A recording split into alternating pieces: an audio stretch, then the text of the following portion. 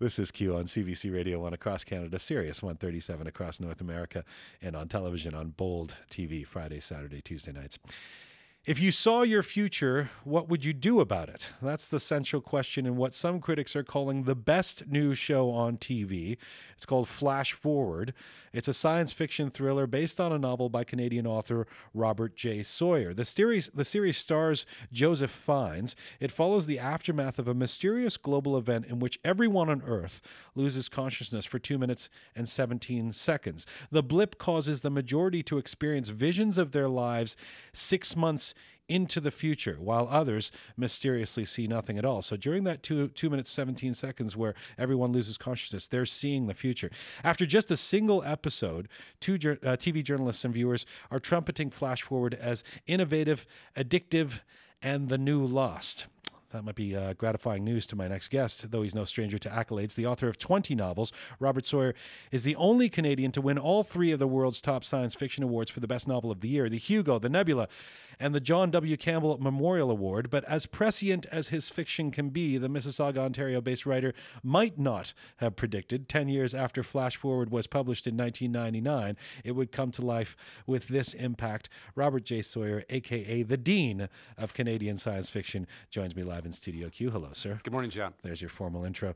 You watched this first episode with fans in Winnipeg. That's right. Uh, on Thursday night. What Absolutely. Was, what was Prior that experience to being like? scheduled, I'd already committed to Thin Air, the Winnipeg International Writers Festival. So Thursday, the 24th of September, turned out to be a date I was going to be in Winnipeg. Uh, we set up a big screen, actually a projection TV at McNally Robinson in Winnipeg.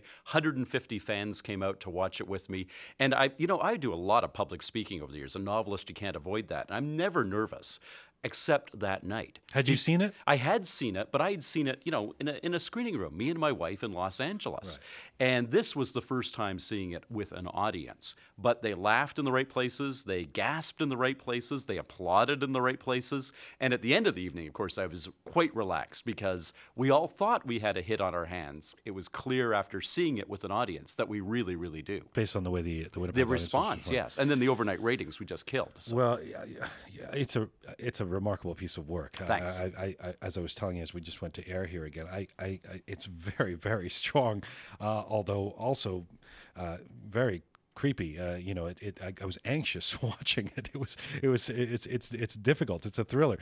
Um, some writers just let go, as you know, Robert, for reasons of self protection when their work is optioned for film or TV. How involved were you in this?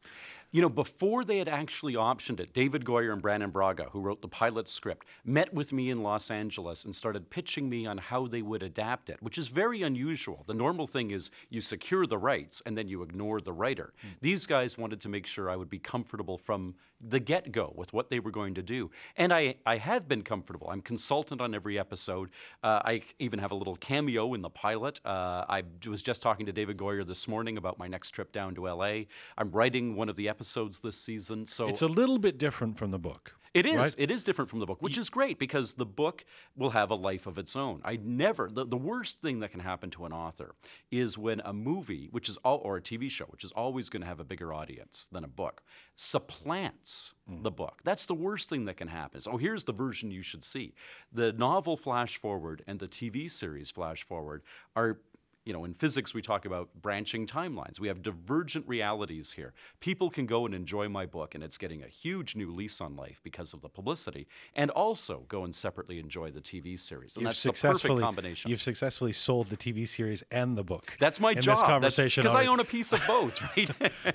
oh, you own a piece of your book. That's good to know. Oh yeah, uh, yeah. you, have said you were very prote- protective, having said all of this, of the underlying philosophy of the show.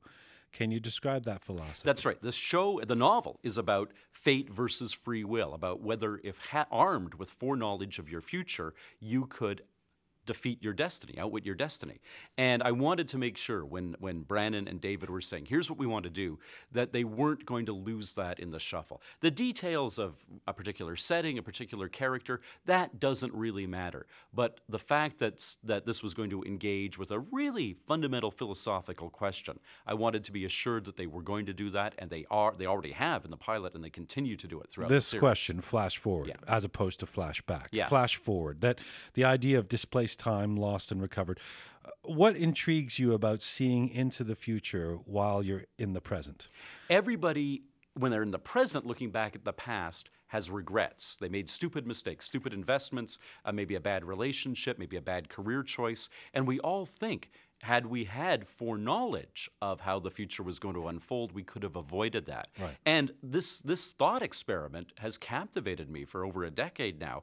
Is that really true? My little tiny test for everybody is here we are at the end of September. Ask yourself, January 1st, what New Year's resolutions did you make? Full conscious intention of actually changing your life this year. And now ask yourself here at the end of September, did you succeed in doing that or are you in fact a prisoner of forces beyond just your conscious intentionality? And I think Flash Forward the TV series grapples with that as the book certainly did. But it's it's uh, terrifying to know. I mean, I, I don't like going to psychics or No. because I'm I'm worried that I'll believe them, and then I have to grapple with what I think my future is going to be.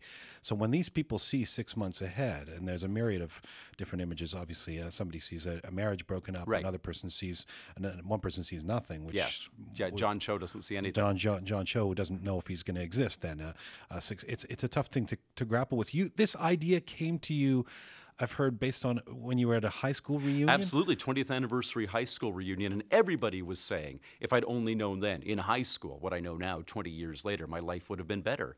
And I, you just can't hear that as a writer and not think that's a great premise. You've got to explore that. And the book uh, totally came out of that. This question of whether or not we can outwit our destiny, I think, is something that everybody wonders about. And you mentioned psychics. The big thing about you know psychics are charlatans is that uh, they tell you one thing, and the next guy who comes in, they've got the same basic script, and they give him a riff on that. You will find happiness, you will find peace, you will find this, but there will be bumps along the way. What happens in Flash Forward is your vision and my vision, if they happen to be a 20 years down the road or six months down the road, I'm on cue again. You see me, I see you. Yeah. They corroborate. How do we avoid that? That's then? right. And Yeah. once it starts being this interlocking mosaic of corroborative visions, how do you outwit destiny then? See, it always comes back to me, if you'll forgive me, because I, I- know you have an esteemed history in, in science fiction, but it always comes back to Star Trek, the original series for me. The Prime Directive, right? The Prime Directive is you, you can't go down, you can't change the future of a planet. You know, Right. that's the one thing that you're not allowed to do. That Starfleet That people have a right to have their own destiny unfold Right. as they see fit. and, Absolutely. and if I change my destiny, there's no way it won't affect. You know, in other, in other words, if I did, if I change it to make sure that we're not doing that six months from now, That's it's going to affect you. So That's right. I, there's no way to do it in isolation. Exactly. And, and indeed, that's right. And do you have a right to say, well, it'll advantage me if I do this, even though it'll disadvantage a 100 or a 1,000 or a million other people if I don't do it? It's a really provocative question. How uh, particle physics Yes. has something to do with all of this. Uh, Why do you see science as such a fertile source for storytelling? Well, because science is what gives things credibility. We can actually ask ourselves questions and get verifiable answers. I can say, hey, I found this thing, and tell you how to do the same experiment. And you can say, oh, yeah, that actually is true, which separates it from mysticism or religion or anything else. And when I want to tell a story about a really big question, you know, hey, what if we could all see the future? I don't want you to be easily able to dismiss that and say, that's just fantasy. I want to say, no, no, no. Here is some good, solid physics underpinning that. Now that it's a serious question, let's talk about that. On that note, the show's been compared to Lost. Yeah. I, I think it's better, but uh, Yeah, but, I do but, too. But uh, but I I know there's a lot of Lost fans out there, but but it, it, it, this one seems less fantastical uh, and more relevant to what's happening in our world: war, terrorism, pandemics, stock Right. market crashes, all the fun Right. stuff that kids should be watching. Uh, to what extent do you see this story based in our reality? Yeah, it's absolutely based in our reality. That's the huge difference. What Lost did immediately is got all of its characters away from our reality to this fantasy island of uh, tropical climates and polar bears and and mysteries that you you know who knows what's going on there. This show is set in our here and now, and unlike any of if Lost or anything else. It's moving towards a definable date. The visions that people have in the TV series Flash Forward are of April 29th, 2010. That date is coming up very rapidly. We have made a, a promise, a covenant to the viewing audience that if you stick with us till the end of April, we're really going to give you answers, definitive answers. And Lost never quite made that promise. Or if it did, a lot of people felt the promise was was broken as the seasons went by. Well, there was a yeah, there was a, a lot of promise, uh, and then it went crazy. Yeah. Uh, you take uh, science fiction very seriously. I do. Good, because uh, uh, you, uh, be, that's what I've heard, and and, and from our, our previous chat, it's a literature of ideas for you. But you've acknowledged that science fiction sometimes gets a bad rap, especially in the way it's portrayed in TV and movies, and you partly blame George Lucas of Star Wars fame for that. Yeah, I Why? largely blame George Lucas. Uh, we were making really good progress up to 1977. Movies like 2001 A Space Odyssey, clearly a cinematic masterpiece. Planet of the Apes, which was clearly social comment on race relations and uh, an anti- anti-nuclear war film. And then along comes this film that's got robots and spaceships and aliens, clearly, obviously, science fiction in most people's minds. And it's a fairy tale a long time ago in a galaxy far, far away about a mystical force, and Ben Kenobi is a wizard, and it blurred everybody's lines. took us too far away from reality. It took us totally away from reality. It became that science fiction and fantasy became synonymous because of George Lucas. And fantasy is things that never could happen. Science fiction is things that plausibly might happen. Planet of the Apes could happen. Uh, Post nuclear holocaust and something other than humanity might arise to take our place? Yes, I think absolutely. If we bomb ourselves out of the game, it's not the end of life on Earth, it's just the end for Homo sapiens. You called this your novel and the show now an exploration of the question of fate versus free will. We've been talking about that, uh, of whether the future is as fixed as, as the past, or, or whether it's it is mutable. So, what do you think on a personal level? On a personal level, I think that the actions I take every single day in my life define what my future is going to be. I think we're hardwired to believe that. We wouldn't get out of bed in the morning if we didn't believe we were make, weren't making a difference with what we did each day. But when I studied the physics of time and of consciousness, the actual scientific basis of consciousness, when I was researching the novel a decade ago, I became more and more convinced that we all know the past is immutable. It's fixed. You can't go back and stop the Holocaust or the Kennedy assassination or whatever. The future, I think, is just as fixed. It's like watching Casablanca for the ah. first time. You don't know how Casablanca ends, but it's still already absolutely written on the final frame of the film. So, environmentalists would probably say we already do know uh, the future, but, but or some would. But uh, but do you think it, it then it is a blessing or a curse? Back to the psychic, but on a broader level, a blessing or a curse to know the future of the planet. Well, the, oh, I think for us, if we, assuming that you actually could change the future, which is debatable. You just made the case you can't. I know, I know. Assuming that you could, right. uh, if you could see the way the environment is going and you can see the way the political situation is going, that's the source of activism is people you had Ralph Nader on the show in the hour before me. The source of activism is apprehension about the future turning out to be an unpleasant place.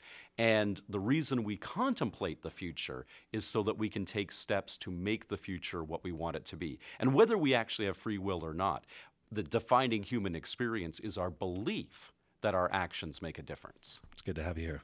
My pleasure. Best of luck with this. Congrats on its success so, Thanks, so Jeff. far. I've been talking to Robert J. Sawyer, author of the novel turned TV series Flash Forward.